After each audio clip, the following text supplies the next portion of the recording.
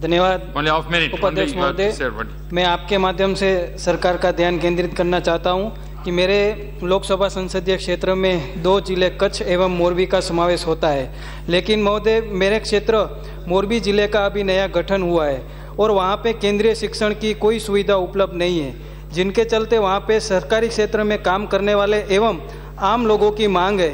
और मेरी भी सरकार से मांग है कि वहाँ पे जल्दी एक नया केंद्रीय और नवोदय विद्यालय शुरू किया जाए जिनके चलते केंद्रीय विद्यालय में पढ़ना चाहते छात्रों को भी एक बड़ी सुविधा प्राप्त होगी। धन्यवाद।